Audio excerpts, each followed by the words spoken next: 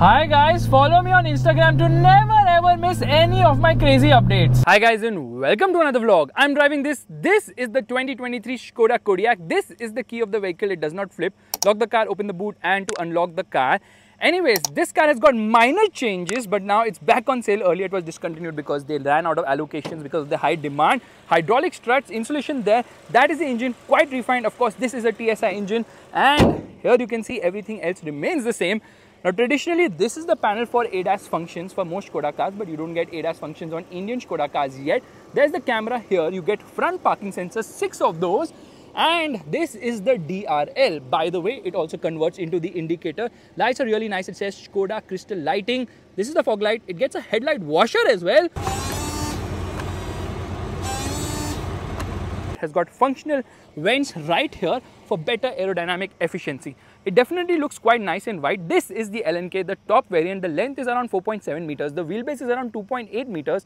So yes, it is a long car and the wheels on these cars or rather on this particular car happens to be 235 55 18s alloy wheel design could be a little bit more adventurous but these are multi-spoke wheels the sensor is there because of self park of course you get this body cladding badging here l&k there's a camera right here request sensors on all the doors and you get functional roof rails as well straight away let's get inside now the thing is that to get into the rear seat it's very easy. I can just push it ahead like this. But rear seat comfort isn't good at all. Now you guys complain i don't get into the rear seat so i will my plan wasn't to get in there because there is very little space for adults. So under thigh support is not there at all. Knees are up. Not really for adults. In fact headroom is also not that great. There's a light placement here and this is actually to put the parcel shelf proper seat belt that is there you can see it feels very airy because of the massive panoramic roof but there's some storage space here 12 volt charging socket adjustable headrest which is kind of cool but I need to get out from here. Come on, let's just push this and get out. There, I can just push it. Getting in and out is not easy, but there's a handle to hold on to right here. Very minor changes to this car when compared to the earlier model. So you can push the seat all the way behind. That is the maximum legroom. So in terms of legroom and knee room, it is actually good. They've also added, I think, a footrest or something there. Under thigh support is better in the second row, but not the best slightly scooped out magazine holder. You got a 12 volt charging socket. Why is there no USB? I don't understand. Rear AC vent control, rather air conditioning control at the rear. But it's shut at the front, so that's not working right now. Center passengers actually welcome, although there's a big hump here, so best avoid it. Just use the center armrest, which has got two and a half cup holders, adjustable headrest, which is a good touch, and you get height adjustable seat belts. It says airbag in multiple places because this car's got nine freaking airbags. Light placement here on the top. Dashboard does look nice, but again, it's very similar to what was there before. Some difference in terms of the dashboard design depending on the variants, specifically speaking to the steering wheel design because this one is two spoke you also get three spoke ones this is beautifully lined yeah, so that things don't rattle there of course and you get a sun blind which you have to manually use of course stop saying of course again and again let's shut the door shuts with a nice thud. Now notice one thing when i open the door okay? There's this door protector which comes out. So this thing has been added as well. I remember seeing it on an older Kodiaq. i think it was optional but now it is standard. So this car's got only few changes. In fact this has been added for better aerodynamics. At the rear again very much similar to what was there before. Dynamic swipe indicators there. Yeah they swipe from inside to the outside. Skoda lettering says Kodiaq. 4x4 rear fog light this is the camera which actually gets uh, this thing spray to clean the camera you get parking sensors, six of them. Fastened fingers of truth, hunting for the exhaust, which is placed right here. This is the towing hook. Real exhaust is not there, which can be seen visibly because it's below here. In fact, it's here as well. So it's got dual exhaust. Both of them are actually hidden. You get a rear wiper washer as well. So it looks quite nice. Understated elegance, of course. This is where fuel actually goes in. You know what? This is chin to minto. The antenna is like really very small. And this thing actually comes out from here as well. Yeah, this protector comes out from here too. See, it's a nice and comfortable. In fact, it says Laurin and Klement here, the founders of the company. Airbag written everywhere, like I told you. This is a 12-way power adjust seat. It has got three memory settings as well. There you can see there's a dead pedal, says Kodiaq on the carpet, mat, sorry. And this is also lined. This is to open the boot. It has got 12 speakers, nice controls, illuminated of course. And it says Canton, Canton sound system with 625 watt output, two spoke steering wheel, engine start button seems an afterthought still. This is the controls for the headlights. There's some secret storage space here let's shut the indicator now there is a big glove box but what is this panel i think for the cd changer which doesn't have so that is blocking some storage space this is cooled of course and Here, you see there's storage space. In fact, you can remove this. Yeah, you can remove it and take it home if you want. This thing actually slides ahead and behind. Multiple buttons here. Traction control, electric parking brake, auto hold function, mode selector, off-road mode. Gear lever says Skoda 4x4. Here you get a wireless charging pad. Position is not that great. 12 volt charging socket and thankfully two USB-C charging sockets. Stop start system. This is for the self park. This is for the camera system. There the camera is turned on. And hazard lights. Lock the car. Passenger airbag. Will tell you if it's on or not dual zone climate control air conditioning it gets seat heating and ventilation as well so you have to operate that from here both of them can be can't be operated at the same time nice controls here on the steering wheel audio controls of course. Let's shut the door. Shut with a proper thud. This is a 10.25 inch virtual cockpit which by the way the style variant does not get. It gets an 8 inch screen. This is a 10.25 one. It's nice easy to operate. And this screen is an 8 inch one. Come on we need bigger. Let me get into vehicle. Let me get into settings lights a lot of things you can do. It gets a tire pressure monitor as well. We are actually going to come into the interior lighting which is something I need to go back for because it's a bit confusing because you have to get into background lighting. There are 10 options for this. Let's get into reverse. You can see the reverse parking camera, front and rear parking sensors and then for self park you've got like multiple buttons. Okay, it's helping you to park better so that function is also given in this car, which is quite good. Auto dimming mirror, massive panoramic roof, like huge in terms of size. But in terms of changes, now they've only added like three, four more features. The car is the same as before because the car is already so fantastic. Now they didn't have to change much. It opens even further. So it's a huge roof there and there rather a glass roof and a panoramic roof and there you get a mirror along with the light same is the case here as well there's a ticket holder here lot of smart bits in fact let's use the wipers right away there you see okay there's good amount of spray on offer and the horn horn is nice and loud these are the paddles of course and these are the controls for the wipers automatic headlights automatic wipers lot of automatic stuff lot of tech in this car steering feels really nice to a lot of leather as well let's listen to an audio right away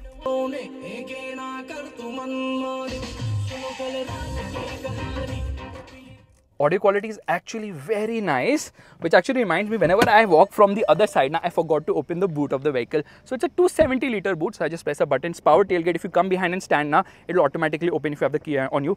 270 liters right now can be improved to 630 liters if I push this. Yeah there it is. I can actually push the seat from here ahead. So this is actually a 40 20 40 the middle one also reclines and I'm pushing it all the way. Obviously isofix child seat mounts. Okay you've got some storage space here big enough boot you can actually recline the second row and 2005 liters is what you get. Really nice. Below here you get the parcel shelf. There's jack i don't know where rose is. Spare wheel is smaller size. It is very chintu mintu in comparison because it's a 145 80 something something. Let me just shut this. Yeah there's a hook here. There's another hook here. Quite practical in that regard. Power tailgate of course if i press a button there it shuts. Yeah it takes its own sweet time but trust me on this, this car is a better alternative to the Fortuner because better performance, better ride, better handling. Everything is better. Only thing is the Fortuner has proven itself in terms of reliability and more rugged because body on frame platform. That's showing exactly which door is open. So plenty of tech and features. Now if you notice one thing, every time I put my finger near the screen, it automatically brings up the colors. It has this proximity sensor it's fantastic way i mean the way the things have been done in this car. Really nice and slick system but very similar to what we see in other skoda cars. So i'll not dwell much into it. But what i will dwell into is this fantastic new feature known as head and neck support which you can just open like this. So when the car is being driven you can actually sleep peacefully and your head will not get disturbed because it will just be right where it should be. Yeah skoda's features are simply clever. Let's start driving right away. Let's start this drive by going for a high speed run in the new Kodiaq. I'm calling it new, but it's more or less the same. Let's see what top speed I can hit. Which means first and foremost, let's turn off the air conditioning. Yeah, the air conditioning is off. We get into drive mode. We get into the car setting. Actually, we'll get into the mode selector. We are in sport mode. In the dynamic chassis control, handbrake down, and off we go. Now at slower speeds, now this car is very smooth, very refined. You can't hear a thing. That's how refined this engine is. Obviously, it's a petrol engine. Earlier, the diesel one was like clattery but no such issues here and that is the beauty of the smoothness this car has so we are going to be launching it straight away here we are left foot on the brake right foot on the accelerator come on launch control did not work but it oh my god it bogged down this car does have launch control but i don't know why it's not working so let's see how does it accelerate oh it's extremely smooth extremely refined. This gearbox is also quick with shifts and red lines around 6500 rpm so straight away we are going to be going for the top speed. Now this is a 2 liter tsi evo engine known as the e888 it produces 190 horsepower and the torque output is 320 newton meters. Now that 320 newton meters of torque comes in at a low 1500 rpm and stays there till 4100 rpm giving it a very wide torque band. And that is the reason why this car feels so good in terms of drivability. It has a nice mid-range punch. Through this sort of a, not really a corner through this section. I am completely flat on the floor in terms of acceleration and the car is pulling smoothly and nicely. Yeah there's a lot of wind resistance at the moment. That's the reason I can feel a lot of wind noise as well. Engine can't be heard because of this beeping sound which is coming from this what do I call the speed alert system. But yes it feels very stable which is quite surprising. Yeah the car feels extremely stable even at these speeds right now we are in fifth gear. Okay i'll upshift to six taking manual control of things. 212 so i don't think this car is going to hit the top speed of 218 kilometers per hour purely because we are having a lot of wind resistance at this current moment. Yeah that's a bit of a problem. Oh my god look at this. It is doing 218 yes we hit the top speed. It's not going to go any 219 will we hit 220 oh yes we did hit 220 and 221 yeah off the throttle time to coast let's see how fast it stops. I'm just going to put it in seventh gear because why not? It has this feature known as decoupling of the engine when you're cruising in order to reduce the amount of fuel which is being consumed. So this has been purely done so that uh, efficiency improves. In fact this is bs 6.2 or rather in skoda speak bs 6b which is the second version of the BS6 version of this car because it means RDE norms right now. Result is it is 4.2% more efficient and now I can floor it. That it gave me a downshift. Yeah, into we are in fourth gear right now. Engine is very smooth and refined, but it's not very aerodynamic but um, they have improved aerodynamics of course but problem is that uh, it's an SUV so obviously it is going to have a lot of wind noise or a lot of road noise also comes in but uh, somehow road noise is well contained. Now these tires are not really what I would call as performance tires more towards comfort as such steering feels really nice. It feels quite stable at these speeds. It inspires a lot of confidence so it doesn't feel nervous at all. That's the beauty of this car. Now there are three variants on offer. There is the base style there's the mid-level sport line and this is the top variant known as the L&K price range between I think 45.12 lakhs all the way to 49.11 lakhs. So yeah pricing is on the higher side of course but then they have only 750 units allocated per quarter. So they have improved or rather increased the allocations for this car from what was there before so 3000 units a year the Fortuner uh, actually sells around 2 2,500 units every month and even though it's more expensive the Fortuner sales are just through the roof. The Kodiaq is actually better than the Fortuner in many ways. It's a monocoque platform, of course, so ride quality is very good indeed, and it's also quite capable, which we'll find out in some time because we're going to go off-road as well. There you see more wind in this particular direction. So yeah, and there we are going to lift off right away. We're going to slow down. Brakes are actually nice and sure-footed.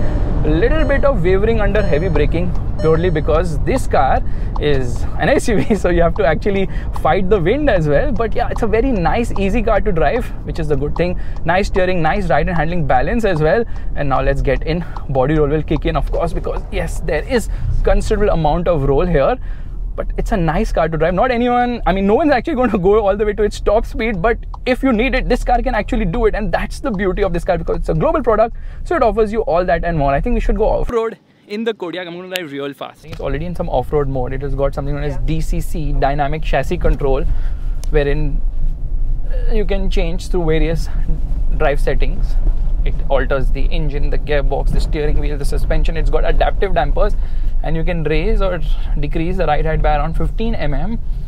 So all that is also there on these bad roads, I feel that the suspension is actually quite good. So it is soft, it is very compliant as well, and I think the low profile tires are making themselves felt a bit. This is a side incline test. Straighten out a bit. Yeah. Easy peasy.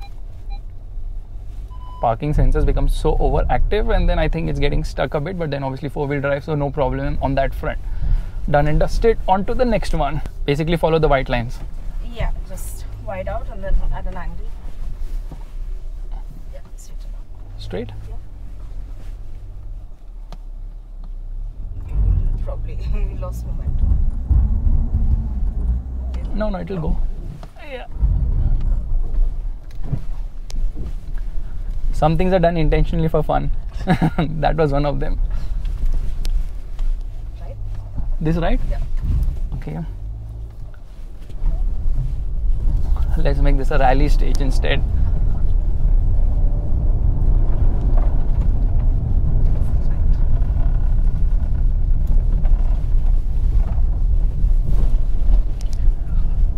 So the vertical, you have to take a right. and Okay, there. Real SUV going off road there. Maruti Ertiga 4x4.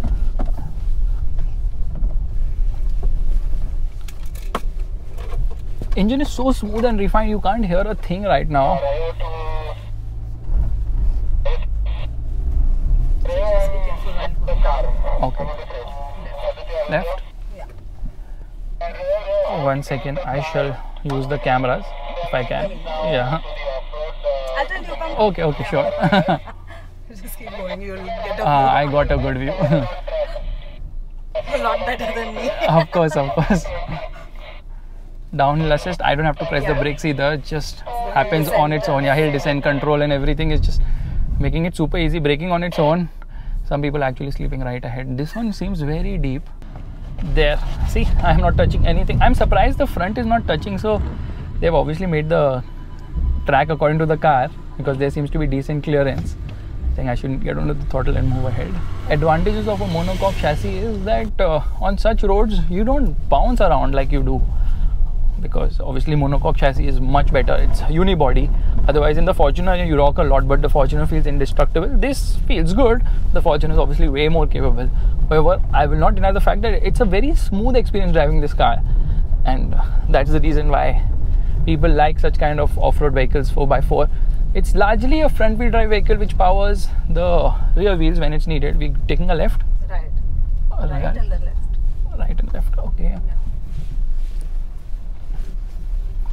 what is this section Okay, called so uh, this is again the side incline. okay This time like this. from Uh, uh, which side i should be on the right side On the right, yeah. Put Okay. the right wheel on top. okay Yeah. Yep. Straighten out. yeah it is kicking in power to the rear axle as well because Right. traction left, levels are not the left. best right right Yeah. so when you buy this car does it come with all the spotter support like if i have to go off-road well, alone how much you're willing to pay. because if i go also huh, can go. okay if i plan to go off-road Yeah. uh, like i have cameras inside Yeah. but do i get the eyes outside as well Like I said. no but the car is effortless very smooth you can get down after a while. yeah i'm waiting for your door to open then i'll get in. Nice. Pretty mean, I'd say.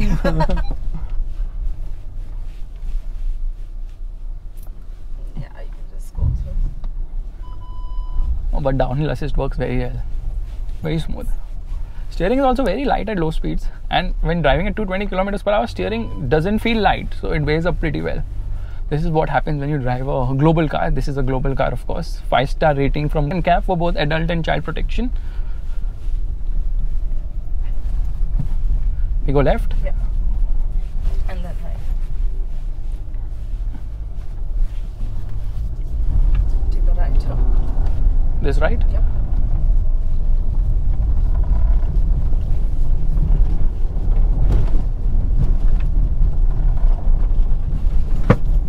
That was my back flying in the boot The left coming up and there's a mini articulation section over there. let me know when the left go, go. ahead ahead right Sorry, I spotted. Oh.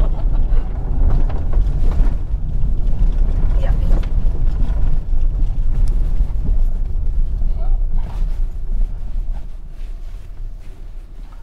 will one wheel go up Yeah.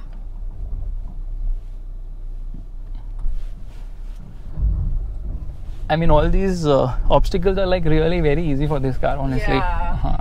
We That's should throw in thing. throw in some rain as well. then we'll know what what's gonna happen. Oh. Okay, I, I don't know where to go, but Yeah. left. yeah. Just keep going straight. Okay. Is that the last obstacle? Yep. Didn't take 20 minutes for sure. Well.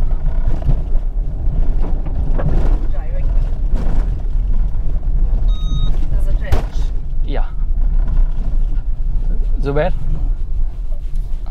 ले लो shot.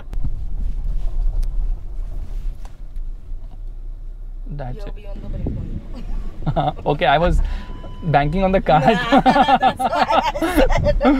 my instructor tells me I should be on the brakes, and I was banking on the car's uh, downhill assist to actually have my back. It's too short shorter distance to bike on So that was a cakewalk. And we are done, right? that.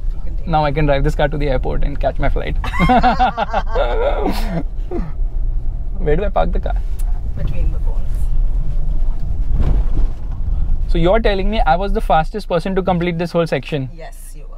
Where's my prize or something? of that sort? Well, you can ask them. All right, thank you so much. Alright, it was nice meeting you. Same here, yeah.